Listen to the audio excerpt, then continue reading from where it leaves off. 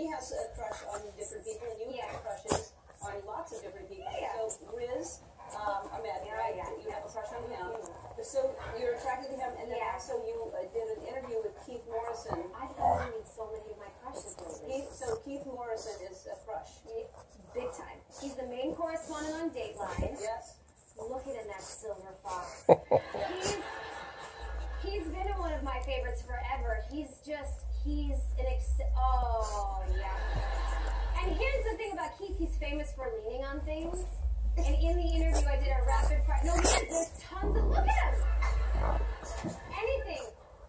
Fire, wind. I've, I've legit seen him lean on barbed wire. Wow. His, his pipes are so Yeah. velvety and smooth and silky.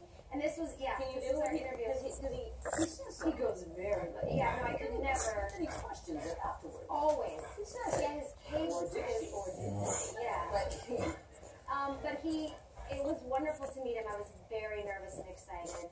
He knows I have a crush on him though, so he knew when he, he was walking into He did know that. How did- how did he know that? Kitty cat. Because I've said it on many a public platform. Oh, really? Like Keith Morrison, and you know what he said to me? He said, uh, "Hey, my wife said something to me as I was eating this morning," and I said, "Oh, what?" And he goes, "She looked at me and said, Hey, your nose is hot." And I thought, God, I respect her so much. She knows what she's got. yeah. She knows what she's got. What does that mean? I don't understand.